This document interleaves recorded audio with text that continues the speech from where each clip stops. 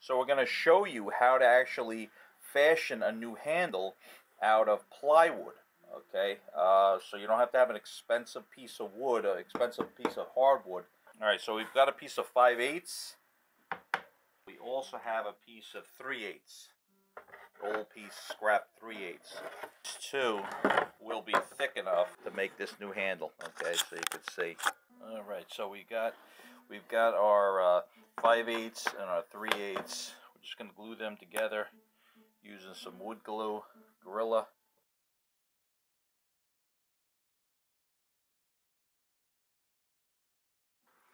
Okay, so we've got that clamp together.